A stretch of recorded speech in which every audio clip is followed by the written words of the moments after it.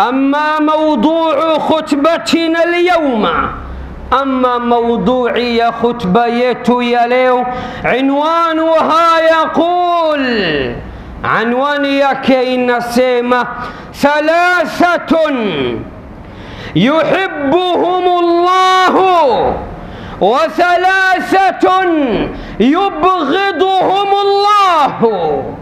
عنواني خطبتي اليوم kichwa cha habari kinatuambia watu watatu anaowapenda allah na watu watatu anaowachukia Allah.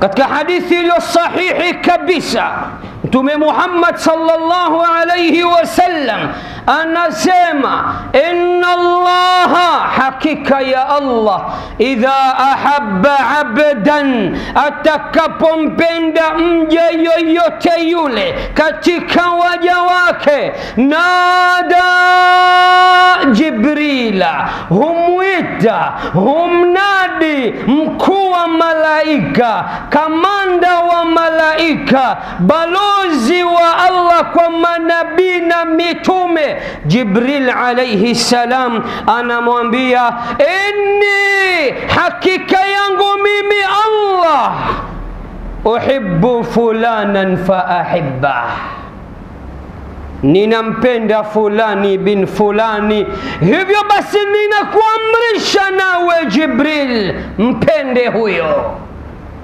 Fayuhibbuhu Jibril, Jibril naye atampenda. Kisha Allah anamwambia nenda kawambie malaika wa mbingu zote ya kuwa hakika ya Allah anampenda fulani bin fulani, na ameniagiza mimi Jibril nimpende, na amewaagiza nyinyi nyote malaika mumpende. Malaika wote watampenda mja yule. Baada ya mapenzi yake kuenea kushamiri katika mbingu zote, Allah anatoa agizo la mwisho, anawaambia sasa, teremsheni mapenzi ya mja wangu yule ardhini, katika nyoyo za ummatu Muhammad, nao pia waweze kumpenda. Hivyo basi kupendwa na Allah ni jambo kubwa sana. Ni wachache mno katika zama hizi wanaweza wakalipata hilo. Namwomba Allah, ninanyanyua mikono yangu miwili kwake yeye mbinguni, mimi na wewe atujalie miongoni mwa wale anaowapenda. Anwani ya khutba yetu ya leo, watu watatu anaowapenda Allah na Ijumaa inayofuata watu watatu anaowachukia Allah. An Abi Dharr Al-Ghafari radiyallahu anhu عن النبي صلى الله عليه وسلم قال msimulizi wa hadithi hii ni sahaba mtukufu mtakatifu kabisa katika wanafunzi waliomaliza katika university ya Muhammad ibnu Abdillah sallallahu alayhi wasallam. Abu Dhar alikuwa ni katika vipenzi vya mtume wa Allah, Mtume Muhammad نكنم يكي أنا إتوى أبو ذر الغفاري جنا لك كامل أنا إتوى جندب ابن جنادة. أنا سيموليا أنا سيمع. حقيقة يمتم محمد صلى الله عليه وسلم أمي سيمع. ثلاثة watu wa aina tatu, yuhibbuhumullahu, anawapenda sana Allah. Wa thalathatun, na watu wa aina tatu, yubghiduhumullahu, anawachukia sana Allah. Kisha Mtume sallallahu alayhi wasallam akaanza kuwataja mmoja hadi mwingine katika hawa watatu anaowapenda Allah jalla jalaluh, akasema أما الثلاثة الذين يحبهم الله أما واتتوامباو أنا وبين سانا الله وكونزواو فرجل أتى قوما فسألهم بالله ولم يسألهم بقرابة بينهم وبينه. فتخلف رجل بأعقابهم فأعطاه سرا لا يعلم بعطيته إلا الله والذي أعطاه. وقوم ساروا ليلتهم حتى إذا كان النوم أحب إليهم ونزلوا فوضعوا رؤوسهم فقام رجل منهم يتملقني ويتلو آياتي. ورجل كان في سرية فلقوا العدو فهزموا وأقبل بصدره حتى يقتل أو يفتح له. أخرجه الإمام ابن حبان برقم ثلاثة آلاف ثلاثمائة تسعة وأربعين. هي ndio yetu ya leo. Watu watatu anaowapenda mno anaowapenda sana Allah jalla fiula. Hadithi ni ya Abu Dhar na mpokezi ni Alimamu Ibnu Hibban katika sahihi yake, hadithi nambari 3349.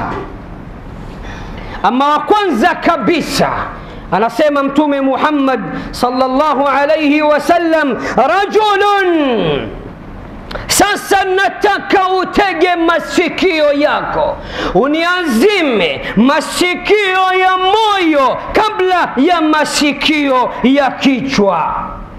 Kisha jiulize weye na mie katika hao watatu anaowapenda Allah jalla fiula, je, mimi na wewe tumo? Wa kwanza rajulun ata qauman fasalahum billah, ni mtu ambaye alikuwa ana matatizo. Dunia imemwelemea, matatizo yamemwelemea, dhiki imemkamata, hali yake ni mbaya kupita maelezo, kiasi ambacho akaona hapa nilipofikia nina dharura ya kuomba, kwani Uislamu kuombaomba umeharamisha isipokuwa kwa dharura iliyokubwa kabisa, na mlango wa dharura katika Uislamu upo wazi na hautofungwa mpaka kiama itakaposimama. Dharura ndiyo yaweza kumfanya mtu akapata uhalali wa kula hata nyama ya nguruwe. Dharura inaweza kumfanya mtu kutenda au kufanya au kula au kunywa kitu kilichokatazwa kwa dharura ile. Baada ya kukamatwa na hali na dharura ikampelekea aende akaombe, akawaendea watu watu fulani, akawaomba kwa jina la Allah, kwa hishma ya Allah, kwa utukufu wa Allah, amewaomba wamsaidie. Yani anawaambia nimekuja, ninakuombeni kwa jina la Allah kwa hishma ya Allah, kwa utukufu wa Allah, nisaidieni, nina matatizo moja mbili. Na kuwaomba kwake hakuwaomba ati kwa sababu kuna ukaribu wa kinasaba baina yao, bali amemwomba kwa ajili ya Allah jalla fiula. Yani hakuwaendea na kuwambia mimi ni kabila yenu mimi ni ukoo wenu. Mimi ni wa rangi yenu. Mimi ni wa taifa lenu. Nimekuwa nimekwama. Nimekwama. Ninatawasal kwenu kwa sababu ya ukabila wangu mimi na nyinyi au ukoo wangu mimi na nyinyi au nasab iliyopo baina yangu mimi na wewe au utaifa wetu. Yote hayo kayaweka kando akasema ninakuombeni kwa jina na kwa utukufu na kwa heshima ya allah nisaidieni. Kilichotokea famanau wamemkataza wamemfukuza. Mmoja ya watu wale wa kabila ile wa kijiji kile wa area ile. Akapatwa na huruma akawazunguka watu wake. فتخلف رجل بأعقابهم فأعطاه سرا لا يعلم بعطيته إلا الله والذي أعطاه ألي وزنقك واتواك إلي وسجوكم بيي أنا كوندكم سيديا akaenda kwa siri kumtafuta na kumkimbilia yule mwenye haja yule mwenye shida yule mwenye matatizo ambaye wamemfukuza na wamemkimbiza na wamemkataza kumsaidia. Alichofanya akamsaidia yeye kama yeye. Hakuna aliyejua faatahu sirran. Amempa kwa siri ya hali ya juu kiasi ambacho hakuna aliyejua la yalamu biatiyatihi illa llahu walladhi atahu. Hakuna aliyejua kwa kile alichokitoa kwa ule msaada aliyomsaidia maskini yule isipokuwa allah peke yake ndiye aliyejua na yeye aliyetoa ile sadaka huyu aliyefanya hayo si aliyeomba yule aliyetoka akaguswa na jina la allah. Ninakuombeni kwa jina la allah kwa utukufu wa allah kwa heshma ya allah kwa mapenzi ya allah. Yote haya wakayapiga chini. Leo hii kama hawa wamejaa katika ulimwengu huu ukimwendea ukaongea naye kilugha ukamwambia kwetu ni kumoja atakusaidia kwa sababu ya ukabila atakusaidia kwa sababu ya ukoo atakusaidia kwa sababu ya mkoa atakusaidia kwa sababu ya bara atakusaidia kwa sababu ya utaifa atakusaidia kwa sababu zozote zile lakini umtajie kwa hishma ya allah kwa utukufu wa allah kwa mapenzi ya allah kwa ajili ya allah. Nisaidie allah kwake ana uzito kama uzito wa kabila yake au ukoo wake au kijiji chake au mkoa wake au taifa lake au rangi yake au lugha yake kijiji kizima aliyeguswa na utukufu wa allah na heshima ya allah na mapenzi ya allah na kwa ajili ya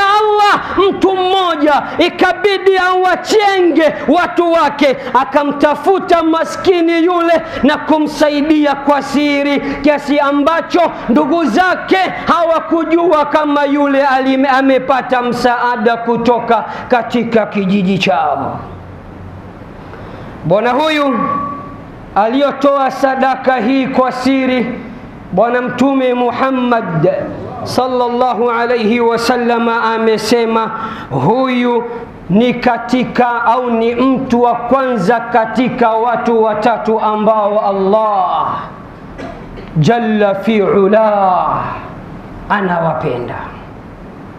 Ndugu zangu qurani tukufu inatueleza ya kuwa tunapokosa msaada kwa, kwa yule aliyetaka msaada tumjibu kwa lugha iliyo nzuri na tusitumie lugha iliyo mbaya. Wa amma saila fala tanhar na ama muombaji usimkaripie usimnyanyase usimpe lugha ya kuhuzunisha mpe maneno matamu. Kwa leo ndugu yangu allah anashuhudia nami sina lakini ninamwomba allah jua ya leo isitue isipokuwa awe amekwisha kufariji juu ya tatizo lako ataondoka hali ya kuwa ameridhika. Lakini hii inanikumbusha kile kisa kilichotokea baina ya wana wa israeli kisa ambacho niliwahi kukitaja mara kadhaa. Lakini si vibaya leo nikakirudia walau kwa ikhtisari ya hali ya juu.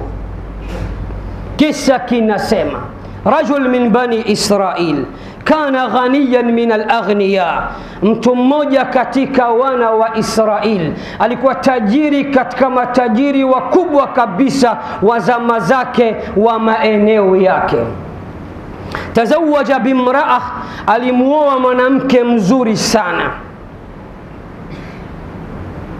falam yarzuqhu llah minha walada allah subhanahu wa taala hakumruzuku watoto kupitia kwa mama yule.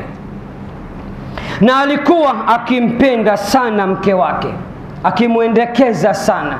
Moja ya masiku alimletea vyakula vya aina kadhaa. Chakula cha mchana cha watu wawili lakini meza imechafuka kwa aina kadhaa ya vyakula baadhi ya waliopokea kisa hichi wanasema ni aina kumi ya vyakula. Wengine wakasema ni aina nane ya vyakula na mboga zake. Fataraka alaihima albaba tariq. Tahamaki wakati wanakula wakasikia hodi wakagongewa hodi mchana jua lipo katikati ya utosi linawaka waka kupita kiasi. Qalu mani tariq wakauliza ni nani anayegonga mlango? Akajibu akasema sailun. Sailun yuridu ihsana. Mimi ni mwombaji nahitaji ihsani ya chakula fanaharah wazajara watarada, alimkaripia. Alimuonya asikanyage tena mlango wake. Akamnyanyasa. Akamwambia yeye ana nguvu zake ni mwanaume kama yeye kwa nini asitafute? Asione watu wanaishi. Huko kuishi kwao vizuri ni kwamba walihangaika akatamba sana famarrat alayam masiku yakasogea wa idha بوزارة الإفلاس في السماء السابعة تهمك وزارة يا كفليسي ليوبو مبينغو يا سابا. تشيني يا وزيري وكي ماكيني ذو قوة عند ذي العرش مكين مطاع ثم آمين. Anapokea jibril amri kutoka kwa allah ya kwamba mfilisi fulani bin fulani abakie na yeye kuwa omba omba kama wenzake. Hii kama ni tra kama ni rita basi ni cha mtoto iliyopo mbinguni inatisha kupita maelezo amefilisiwa mpaka siku moja kufika chakula cha siku moja hana kidume ambaye alikuwa na uwezo wa kumletea mke wake vyakula vya aina kumi. Kasri utazani ya mfalme kumbe ni ya tajiri katika matajiri wa nchi ile. Hata talaqa zaujatahu min shiddati lfaqri, mpaka akamwacha mke wake talaka, hali ya kuwa anatoa machozi, anamwambia tuachane, hali ya kuwa tunapendana, hali ni mbaya, utakuja kunichukia na kunichoka, bora tuachane mapema. Akamwacha mkewe. Mwanamke alipomaliza eda ya kuachika, waidha bilmarati tatazawaj birajulin aghna min ahli lbalad, mwanamke anaposwa na tajiri nambari moja katika nchi ile, mpaka watu akasema, mama huyu bahati yake yeye kuolewa na matajiri. Alipoolewa na mumewe tajiri, sasa mume wa pili ambaye ni tajiri wa kwanza katika nchi ile Kilichotokea ndugu zangu ni kwamba mama yule akamtajia mume wake wa pili kuhusiana na mapenzi yake ya mume wake wa kwanza, akapatwa na wivu, akasema nitakufanyia maradufu kila alichokufanyia. Akamkumbusha siku moja aliniletea vyakula vya aina kumi. Isitoshe alinilisha siku hiyo, naye akasema nitaleta vyakula vya aina ishirini. Wakati sasa chakula special imeletwa katikati ya mchana, jua linagonga juu ya utosi, tahamaki hodi ya pili tena Qalu man tariq, wakauliza ni nani anayegonga mlango? Akasema sailun, jamani, mimi ni muhitaji, niomba omba, nina matatizo, shida yangu ninasikia njaa. Famadha hadath wa madha jara, kipi kilichotokea? Yapi yaliyojiri?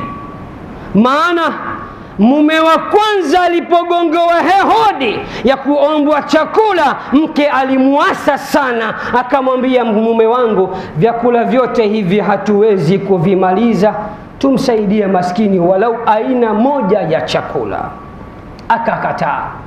Sasa mke yupo kwa mwanaume wa pili, mwanaume mwingine hajamzoea kitabia. Hodi tayari imekwisha gongwa, ombi tayari wamekwisha lisikia. Mume na mke wanaangaliana, kipi kilichotokea? Yapi yaliyojiri? Walimsaidia au walimtimulia mbali kama alivyomtimua yule mume wa kwanza. aqulu ma tasmaun wastaghfiru llaha li wa lakum fastaghfiruh innahu huwa alghafuru rrahimu wa huwa albarru lkarim. Madha hadatha wa madha jara Kipi kilichotokea? Yapi yaliyojiri? Faqama فأمر زوجته وقال لها خذ الدجاجة كلها وأعطيها للسائل. أكسمام ممي وبيلي أكموامرش مكواكي أكموامبيا تشكوى هيوكوكم زما ليبيكوا. كتيكا وبيشي. وحالي يجوك بسه nenda kamkabidhi maskini huyu aliyegonga hodi katika nyumba yetu mchana huu. Fadhahabat zaujatu bidajaja, alipokwenda mke kumkabidhi yule maskini ile kuku, rajaat hazinatan bakia Ghafla amerudi kwa mumewe, hali ya kuwa tayari amekwisha mkabidhi maskini yule kuku ile. Alichofanya ni amerudi hali ya kuwa amehuzunika na huku analia.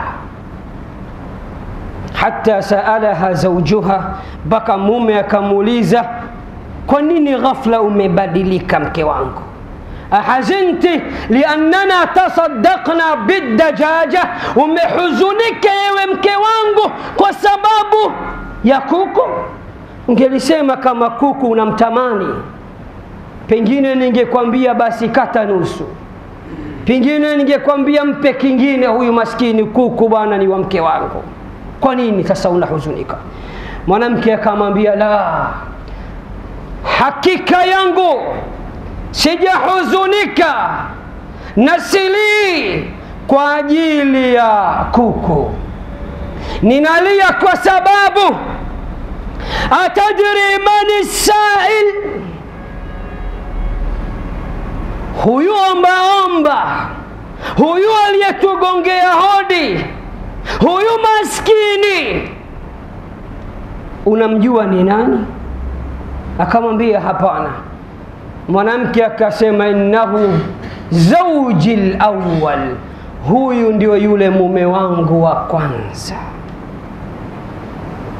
Qurani imewaagiza wana wa ndoa wasisahau fadhila na ihsani walizofanyiana hata wakiachana. Wala tansau lfadla bainakum hivyo ninalia huyu alikuwa ni bilionea katika nchi hii. Leo anagonga nyumba hadi nyumba kutafuta chakula cha mchana mume wake akamgeukia huku anatabasamu anamwambia mke wake atajirina man ana ewe mke wangu nami mumeo wa pili unanijua mimi ni nani?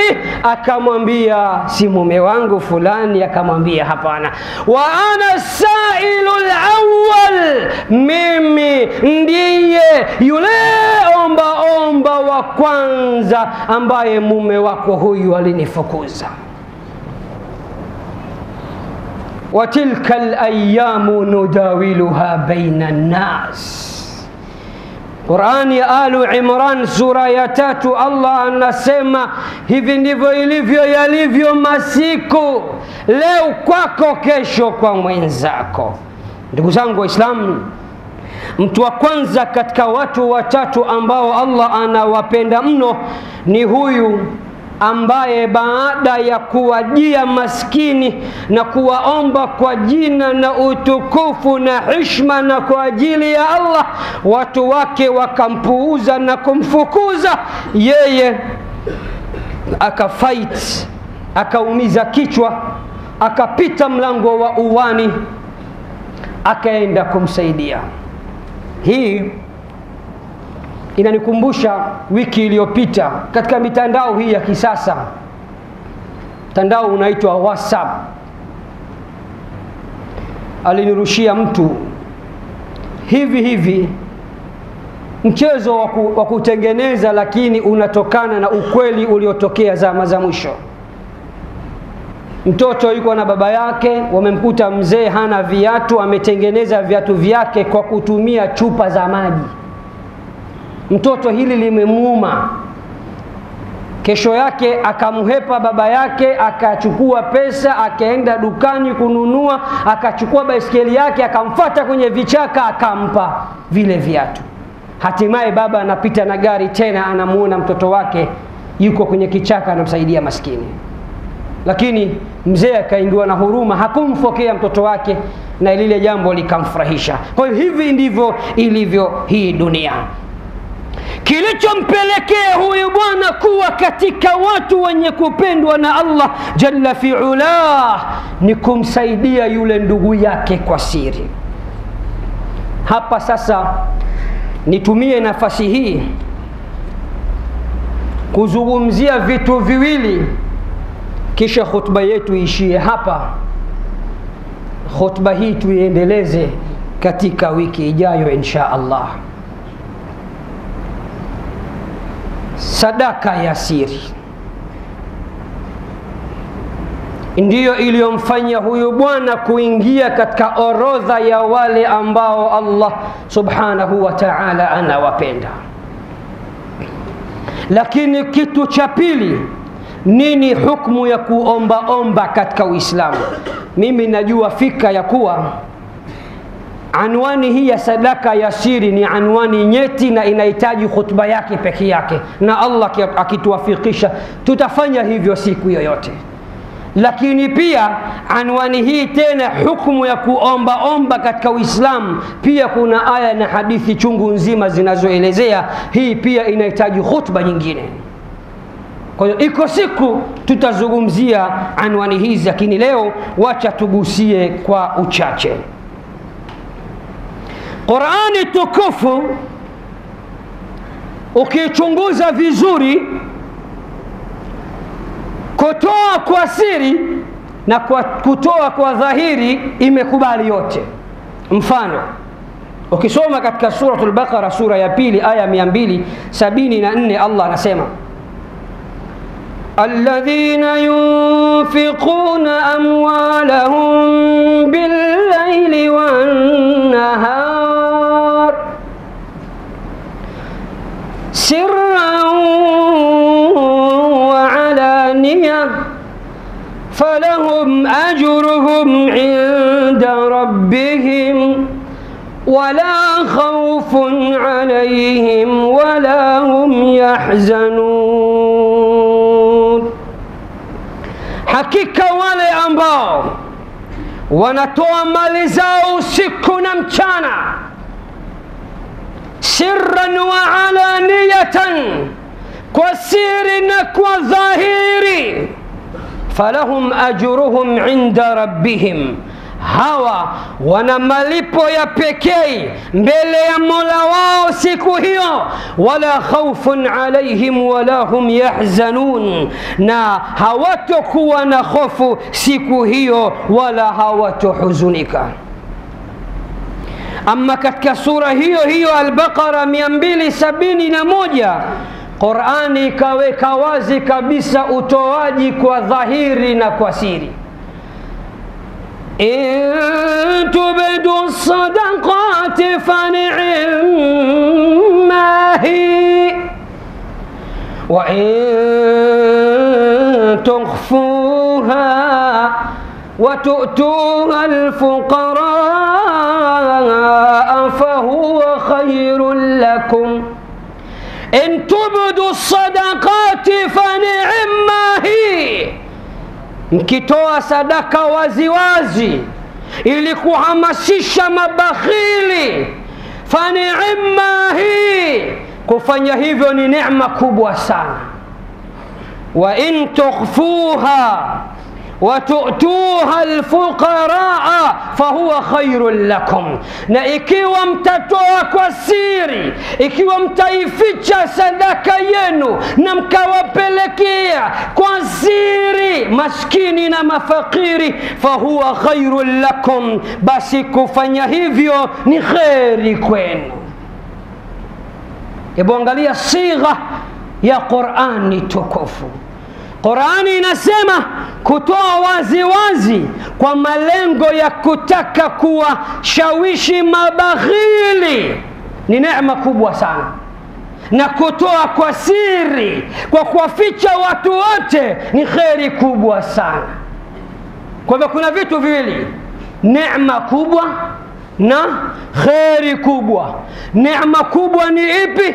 Kutoa sadaka wazi, kuwahamasisha wengine na kheri kubwa ni ipi? Kuitoa sadaka kwa, ficha, kwa siri na kuwaficha wengine. Wana wa dunia kwa kugundua hilo, tazama harambee zote za duniani zinafanyika kwenye maukumbi na huitwa watu wakubwa. Unaweza ukashangaa watu walioalikwa mia mbili lakini mabilioni zilipatikana. Binadamu tabia yake aliyoumbiwa na mola wake, necha yake, anapenda atukuke, atukuzike mbele ya watu, anapenda kutukuzika mbele ya watu na kuheshimika. Tazameni hata wasiokuwa Waislamu kuna ujanja wamekuwa nao Waislamu hatuna. Harambee mkoa fulani, ataitwa kiongozi mkubwa sana, rais wa nchi, waziri mkuu asimamie harambee. Kalamu itauzwa milioni hamsini, milioni mia mbili. kalamu dukani kwa shilingi mia mbili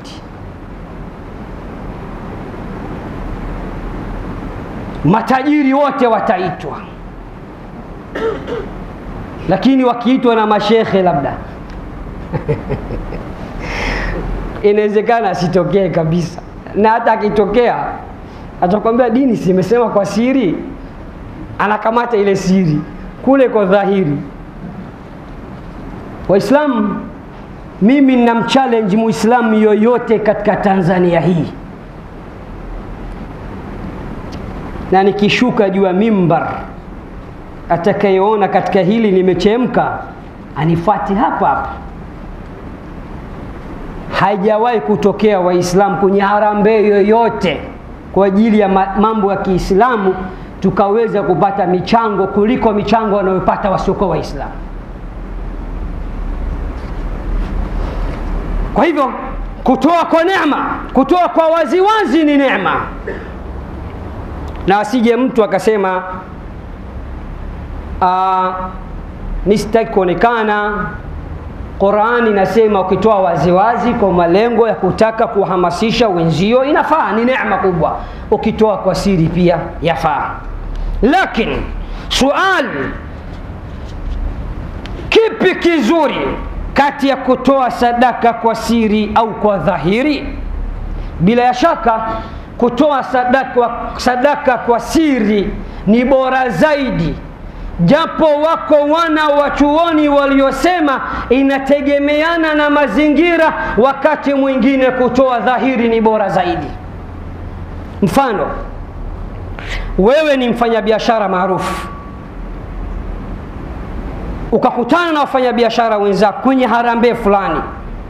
Alafu ukasimama kampuni fulani tunachangia jambo hili milioni mia moja. Kampuni zingine ni aibu wakataja milioni mbili tano ikiwa kwa mtindo huu unaweza ukapata mchango mzuri kwa ajili ya kutaka kujenga msikiti au jambo la kiislamu basi inabidi kila mmoja aseme pale anatoa nini. Kwa sababu binadamu pia akishaahidi mbele ya watu kukupiga chenga ni ni vigumu japo kwa ujumla utoaji wa sadaka kwa siri ni bora zaidi sikiliza mtume anasemaje sadaqatu sirri tutfiu ghadhaba rabbi sadaka ya siri huzima ghadhabu ya mola katika sahihu lbukhari na sahihu muslim hadithi ya abu huraira سبعة يظلهم الله في ظله يوم لا ظل إلا ظله. واتوا أين سبا الله أتوفى كفول سكو يا قيامة سكو أمبايو. هكونا كفول إسبوكو كفول جاك. ميونغوني مهاو سبا ورجل تصدق بصدقة. فأخفاها حتى لا تعلم شماله ما تنفق يمينه ni mtu ambaye ametoa sadaka kwa siri ya hali ya juu kiasi ambacho mkono wake wa kushoto haukujua mkono wa kulia umetoa nini hii inanikumbusha mmoja ya wajukuu wa sayiduna ali bna abi talib alikuwa akiitwa bakhili nambari moja katika familia ya bwana mtume muhammad. Kwa sababu watu hawajawahi kumwona akitoa dhahiri sada, sadaka zake kwa siri. Alikuwa akiitwa aliyu ibnu lhasan zainu labidin bwana huyu anagawa sadaka zake saa nane usiku. Anapita katika nyumba za maskini wanaostahiki kila nyumba mlangoni anaweka unga kiasi fulani sukari kiasi fulani asali kiasi fulani ngano kiasi fulani tende kiasi fulani zabibu kiasi fulani. Watu alfajiri wakiamka wanakuta nema na kumwombea huyu anayefanya kitu kama hicho. Siku alipofariki wakasema ma faqidna صدقة السر إلا بعدما فقدنا علي بن الحسن زين العابدين. هتجكس صدقة يسيري هيكو كتك صدقة يسيري كتك ميلانغو يتو وسيكو ومنان اسبوكوا سيكو ألي بوفاريكي علي بن الحسن زين العابدين. Ndio wakajua atakuwa ni yeye. Waliomkosha wakathibitisha hilo, wakasema juu ya mgongo wake alikuwa na madonda makubwa, madonda sugu, ambapo wakathibitisha madonda hayo yametokana na kubeba mzigo ule kila siku juu ya mgongo wake. Leo Waislamu katika mambo ya kidunia anaitisha mpaka media, vyombo, vyombo vya habari vishuhudie amesaidia nini.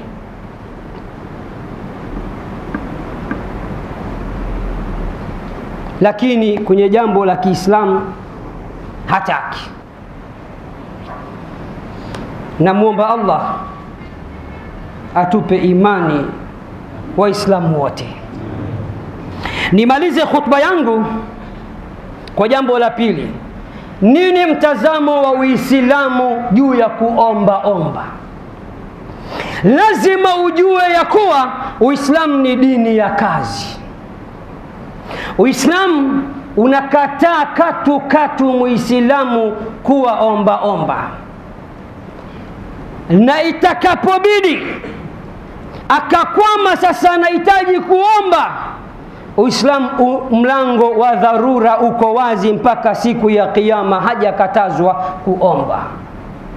Sikiliza katika Sahihu al-Bukhari hadithi ya Bwana Mtume Muhammad sallallahu alayhi wasallam anavyosema, li an ya'khudha ahadukum hablan fayahtatiba khayrun lahu min an yas'ala an-nasa a'tuhu au mana'uhu mmoja wenu kuchukua kamba zake na zana zake na kwenda porini kukata kuni ili aje kuuza ili apate kula kupitia juu ya kupitia katika mikono yake kupitia katika jasho lake. Ni bora mara elfu kwake kuliko akawa anawaomba watu kati ya mawili wampe au wa, wasimpe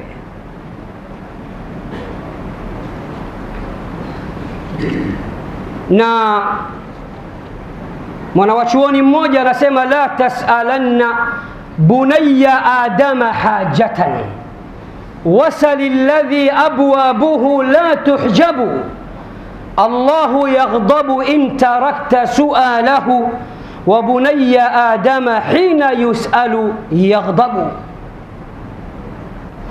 usithubutu kumwomba mwana wa adamu kitu na badala yake muombe yule ambaye milango yake hakuna mlinzi, hakuna wa kukuuliza una appointment, unamjua, nimwambie ni nani? Hakuna. Allah anakasirika pindi ambapo mja wake hamuombi, na mwana wa Adam anakasirika pindi watu watakapokuwa wanamuomba. Hotuba yangu آية kwa حديثي آية hadithi. Aya البقرة نمباري ميان بيلي سبينة تاتو للفقراء الذين أحصروا في سبيل الله لا يستطيعون ضربا في الأرض يحسبهم الجاهل أغنياء من التعفف تعرفهم بسيماهم لا يسألون الناس إلحافا Allah anatoa agizo na wasia kwamba pindi mnaposaidia wasaidieni hawa mafukara ambao wamezuilika katika njia ya Allah, hawana namna yoyote ya kutoka ili kutafuta riziki ya halali. Wasiowajua wanawadhania ni matajiri, ni kutokana na vile wanavyojizuilia kuombaomba. Anasema taarifuhum bisimahum, utawajua kwa ishara na alama zao kwamba ni wahitaji, lakini hawataki kuombaomba. La yasaluna nnasa ilhafa, hawapendi kuwang'ang'aniza watu katika kuwaomba. Na hii inanikumbusha mwana wa chuoni mmoja anasema, la takhda'anna limakhluqin ala tama'in fa inna dhalika naqsun minka fi ddini لن يقدر العبد أن يعطيك خرذلة إلا بإذن الذي سواك من طين. فلا تصاحب غنيا تستعز به وكن عفيفا وعظم حرمة الدين. واسترزق, واست واسترزق الله فيما في خزائنه فإن رزقك بين الكاف والنون. Usimnyenyekee mwana wa adam usijidhalilishe kwa mwana wa adam juu ya tamaa zako, kwani kufanya hivyo ni mapungufu tosha au ni upungufu tosha kwako kutokana na dini yako. Hatoweza mwana wa adam kukupa chochote kile isipokuwa kwa idhni ya Allah subhanahu wa ta'ala. نختمش حديث يمتوم محمد صلى الله عليه وسلم ما يزال الرجل يسأل الناس حتى يأتي يوم القيامة وليس في وجهه مزعة لحم أمبا أمبا anayependa kuombaomba asiyependa kujitumatuma hali ya kuwa na nguvu zake hataki kujituma hataki kufanya namna yoyote kupata riziki yake ya halali lakini ameamua kuombaomba. Anasema mtume muhammad sallallahu alaihi wasallam huyo atakuja siku ya kiama hali ya kuwa katika uso wake hana nyama hata kipande kimoja mwili mzima ni nyama uso wake ni fuvu allahuma ij'al jam'ana hadha jam'an marhuman waj'al tafarruqahu min ba'dihi tafarruqan ma'suman aslih dhata baynina wa alif bayna qulubina allahumma ruddana ila al-islam raddan jamila ruddana ila al-qur'ani was-sunnati raddan jamila ارحمنا فأنت بنا راحم ولا تعذبنا فأنت علينا قادر والطف بنا فيما جرت به المقادير قدير إنك على كل شيء قدير. اللهم صل وسلم وزد وبارك على عبدك ورسولك ونبيك وحبيبك سيدنا محمد صلى الله عليه وسلم. كما صليت على إبراهيم وعلى آل إبراهيم إنك حميد مجيد. وأقم الصلاة.